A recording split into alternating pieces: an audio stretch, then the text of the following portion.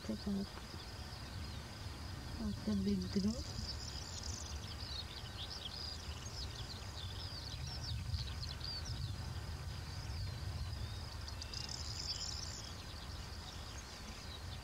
I look at the black coat.